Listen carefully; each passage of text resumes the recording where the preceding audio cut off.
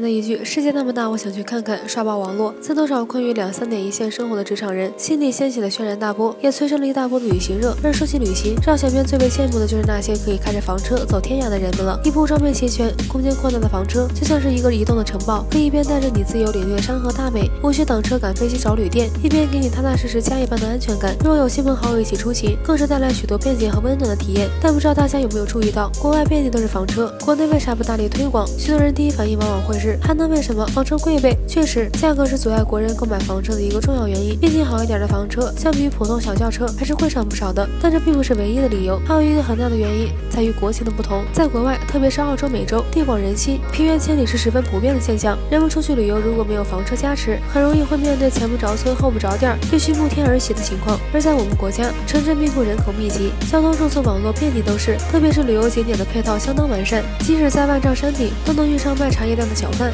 很大程度上减低了对房车的依赖性。相反，如果你驾驶一辆巨大无比的房车出行，还很容易找不到停车位呢。另外一方面，心态也是很重要的决定因素。对大多数人来说，辛勤工作、买车供房、养家糊口还是第一位的事情。真的能放弃工作买辆房车潇洒走一回的人寥寥无几。所以说，不是国内不大力推广房车，而是房车在目前的中国还难以打开市场。但是随着我们国力的进一步发展和人们思想观念的进步，相信在不久的将来，我们也可以迎来驾着房车去旅行的大时代。